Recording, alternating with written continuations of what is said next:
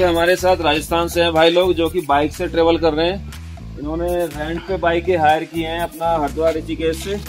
और ये चारों पाँचों दोस्त मिलके ना भाई साहब बड़ा एंजॉय कर रहे हैं। ये केदारनाथ, बद्रीनाथ, ये पाँचों धाम की यात्रा पे निकले हुए हैं। गुड मॉर्निंग दोस्तों। आज रुके थे चौथा रात और यहाँ का वेदर बहुत अच्छा हुआ। बारिश बहुत तगड़ी हुई रात। जब आज यहाँ का दृश्य देखें आप कि कैसा है। ब्रेकफास्ट हो गया है। विक्की भाई और प्रदीप भाई ने अपने लिए पराठे और सब्ज़ी ली है मैंने दाल चावल लिए और गर्मा गर्म कॉफ़ी रोहित श्रीवास्तव जो समय अपना ब्लॉग चलाते हैं मैं आपको दिखाने जा रहा हूँ उनका। ये देखिए इनका 1500 जर्नी का भाई साहब ये जो है फ्रॉम घर से मतलब इतना दिन दूर रहेंगे श्रीवास्तव जी। तो रोहित भाई रोहित भाई लगभग कितना समय आप घर से बाहर रहेंगे? और अप्रोक्स 1500 डेज़ का टारगेट है अभी। लगभग And- 1500 दिन। हाँ 1500 दिन का मतलब 1500 दिन कंफर्म एंड इसके आगे का भोलेनाथ के ऊपर है। 1500 दिन अभी मैं बाहर हूँ अप्रोक्स फाइव इयर्स के लिए। गाइज़ कितनी दीवानगी है भाई को मतलब ट्रेवल के प्रति। आप देखिए ना कि जहाँ लोग बाग मतलब दो चार दिन निकलना बड़ा मुश्किल होता है घर से। भाई ने 1500 दिन का समय निकाला है। और अभी आपने क्या क्या कवर किया रोहित भाई? एंड भाई जी अभी मैंने ऋषिकेश कवर किया श्रीनगर कवर किया केदारनाथ पूरा कवर किया। उसके बाद अभी डुंगनाथ का अपना महाराष्ट्र का पूरा कवर हुआ है। एंड यहाँ से अभी हम लोग बद्रीनाथ जा रहे हैं। उत्तराखंड कवर करने के बाद मैं हिमाचल जाऊँगा हिमाचल जम्मू। नेपाल होते हुए हम लोग गैंगटॉक भूटान एंड श्री सेवन सिस्टर्स जो अपनी है इंडिया की Okay. उनको हम लोग बहुत अच्छे से कवर करेंगे। एंड अभी रिसेंटली ये फिफ्टीन हंड्रेड डेज़ में अगर हम लोग देखेंगे तो थ्री कॉन्टिनेंट मेरा टारगेट है जिसमें अपना पूरा एशिया आ जाता है। वाओ दैट्स अमेजिंग भाई। मतलब एशिया भाई कवर करने वाले हैं। साउथ अफ्रीका आ जाता है। तो ये तीन कॉन्टिनेंट अभी हम लोग कवर कर रहे हैं। And I am a solo traveller सारी की सारी ये देखिए भाई रोहित भाई को देखिए ये ना अपना सारा कुछ कवर करके साथ में चलते हैं। मतलब ये अकेले ट्रेवल करते हैं। कोई साथ में नहीं है कैसी दीवानगी आप जर्नी के प्रति देख सकते हैं। भाई का मतलब अलग ही क्रेज है जर्नी के प्रति। लव लाइक सब्सक्राइब मुझे भी और भैया को भी क्योंकि मैं बहुत ही लंबे जर्नी पे निकला हूँ। रोहित भाई का विजय ब्लॉग 0.5 में वेलकम है। और मैं चाहूँगा रोहित भाई भी हमारे ब्लॉग्स के लिए अपने फ्रेंड से एक बार एकदम कंफर्म भैया मैं आपके चैनल को भी लाइक अपने फ्रेंड्स को बोलूँगा कि जितना ज़्यादा हो सके देखो रीजन इज़ कि एक देख पूरी दुनिया के लोग सब जगह नहीं देख सकते हैं बट कुछ ऐसे लोग होते हैं जो उन्हें कुछ बताते हैं दिखाते हैं और उसके बाद वहाँ पे लोगों का आना जाना बहुत ही अच्छे लेवल पे स्टार्ट हो जाता है। हाँ। तो दोस्तों मैं बोलूँगा कि चलो हम लोग साथ में कोई दुनिया बिल्कुल बिल्कुल बिल्कुल रोहित भाई मैं दिखाने वाला हूँ रोहित भाई के ब्लॉग्स में। आप देखिए फेसबुक ये आपका आर श्रीवास्तव ब्लॉग्स है, आपका यूट्यूब चैनल है भाई का आर श्रीवास्तव ब्लॉग्स और इंस्टा भी इनका आर श्रीवास्तव ब्लॉग्स के नाम से तो गाइज़ लाइक करें फॉलो करें सब्सक्राइब करें और भाई का उत्साह बढ़ाए। मैं चाहूँगा रोहित भाई ऐसे ही दुनिया घूमे और आपके लिए नई नई अच्छी अच्छी वीडियो लेकर आए। तो गाइज़ थैंक यू रोहित भाई थैंक यू। वेलकम है आपका हमारे ब्लॉग में। बहुत बहुत बधाई हो आपकी जर्नी बहुत अच्छी हो थैंक यू सो मच भैया। तो अब हम लोगों ने यहाँ से अपनी बाबा की यात्रा शुरू कर दी है और ये आशीर्वाद लेते हैं। भाई मैं भी आशीर्वाद ले लेता हूँ यहाँ से मतलब ठीक है।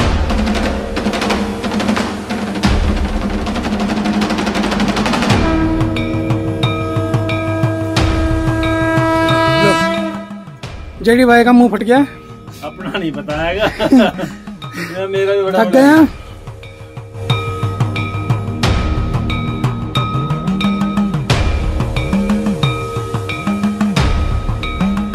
हाइट है और ऊँची हाइट है पाँच किलोमीटर की सीधी। और लगभग एक किलोमीटर चलने का मतलब है जैसे मैदानी एरिया में हम पाँच से छह किलोमीटर चल लियो अरे कुछ नहीं है भागते भागते चल जाएँगे। हाँ बाकी ये कुछ बताएँगे नहीं अपने बारे में। सांस भाई, थके तो पड़े। फेफड़े इनके भी फटे पड़े हैं भाई। फेफड़े इनके फटे पड़े चलो।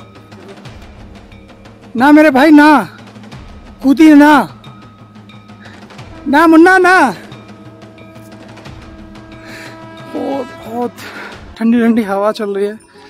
वो ऊपर सामने क्लाउड वो देखो वो कितना मनमोहक दृश्य है।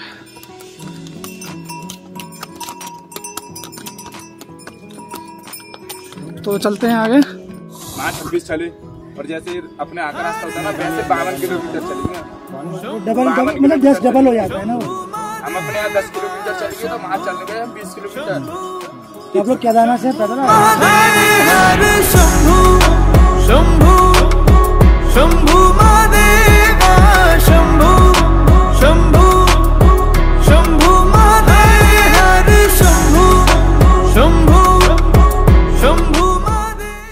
अभी बाबा तुमनाथ के रास्ते में हमने छोटा सा एक स्टे लिया है विक्की भाई को एक ब्लैक कॉफ़ी क्योंकि ग्रेटर नोएडा और अलीगढ़ खुर्जा में ज़्यादा नहीं अस्सी किलोमीटर के आसपास का बस डिस्टेंस है। भाई क्यों? हर महादेव।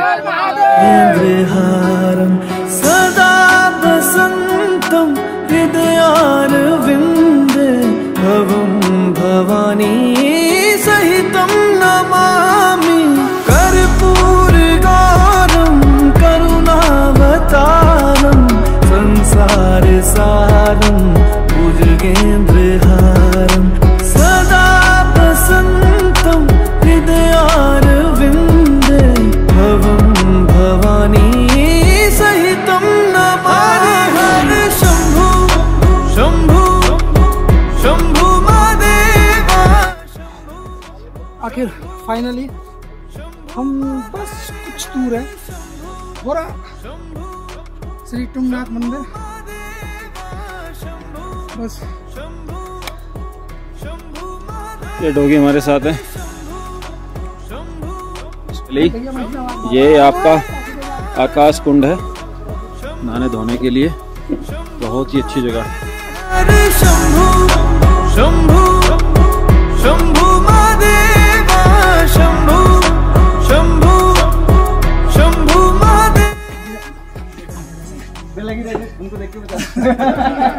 लो भैया को पक्का भाई पक्का नोएडा का कैसे भैया हम लोग के दर्शन अच्छे बढ़िया हो गया इलेक्ट्रॉनिक्स और ये यहाँ की ना एक मिनी मार्केट है बाबा तो बाबा तुंगनाथ की पूजा के लिए यहाँ पे पहुँच चुके हैं। और विक्का भाई यहाँ पे पूजा की थाली ले रहे हैं। ये देखिए भैया कितने की थाली है ये? डेढ़ सौ रुपये की थाली है भाई ये, और बाबा की पूजा के लिए अब विक्की भाई ले रहे हैं इसको। बाबा तुंगनाथ के द्वार पे। ये देखिए। अब हम यहाँ पे अपने जूते निकाल के मंदिर में एंट्रेंस करने वाले हैं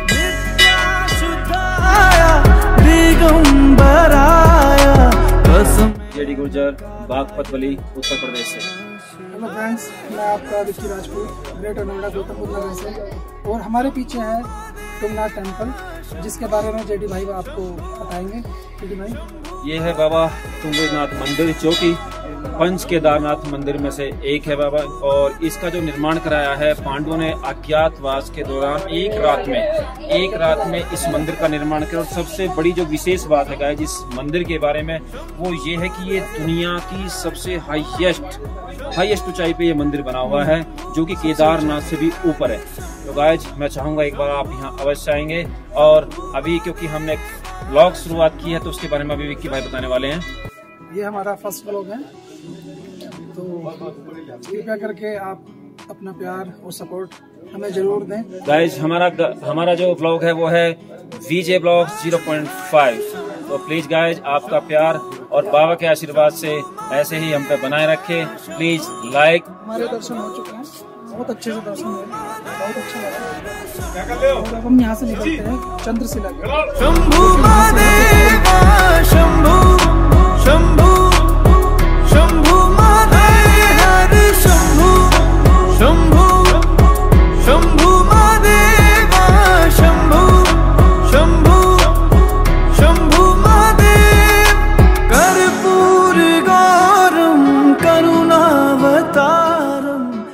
जाना है। और इधर पूरा बादल बादल हो रखे हैं। ये देखो। बहुत अच्छा बादल हो रखा है इधर। मतलब क्या ही एक्सप्लेन करें इतना अच्छा वेदर इतना सुंदर की बस क्या ही बताएँ इस बारे में।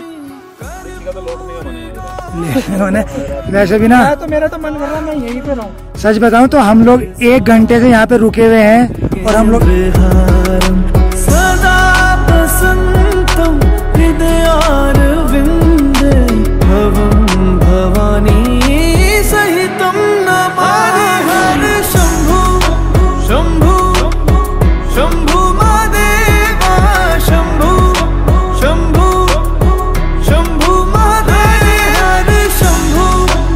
ऐसा एडवेंचर करके दिखाएँगे। शायद वो यहाँ पे आपको शीर शासन करके दिखाने वाले हैं। यस ये देखो।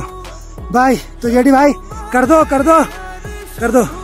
तो भाई ये तो भाई आके इंडिया में सबसे ऊँची हाइट पे आके जेडी भाई ने कर दिया शीर्षासन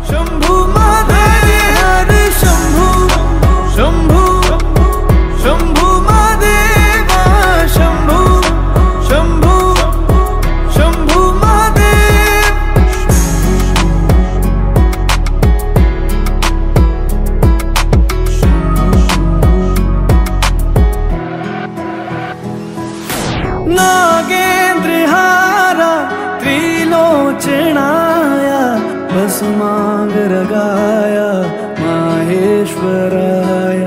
नित्याशुद्धाय दिगम्बराय तस्मै नकाराय नमः शिवाय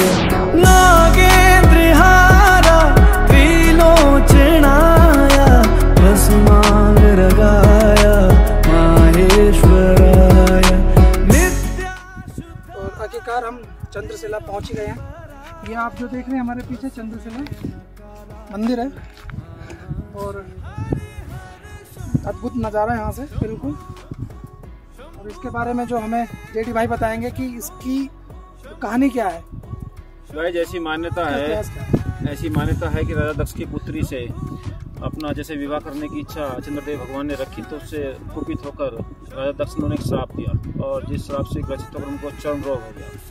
चर्म रोग होने के बाद में जब वो बिल्कुल भी किसी भी उपचार से सही नहीं हुए तो एक ऋषि के सुझाए मार्ग से उन्होंने भगवान महादेव को प्रसन्न करने के लिए, जो कि अभी मैंने आपको बताया नीचे, दुनिया का सबसे ऊँचा मंदिर बाबा तुंगनाथ का मंदिर है, उससे भी एक किलोमीटर ऊपर आके, एक शिला में बैठकर इन्होंने कठोर तपस्या की। तब उससे प्रसन्न होकर महादेव ने उन्हें उससे रोग से मुक्ति दी। इसीलिए चंद्रशिला इसका नाम पड़ा, क्योंकि चंद्रदेव भगवान ने यहाँ बैठ के तप किया। तो गाइज़ ये था हमारा चंद्रशिला। और आज का हमारा ब्लॉग तो ऐसे ही हम आपको आगे मिलते रहेंगे। बने रहिए हमारे साथ Vijay blog zero point five और आपको हमारा ब्लॉग कैसा लगा? कमेंट करके ज़रूर बताएँ। और जिन भाइयों को जिन लोगों को हमारा कम ब्लॉग अच्छा लगा हो वो लाइक करे शेयर करें। प्लीज़ सपोर्ट थैंक यू धन्यवाद भाई।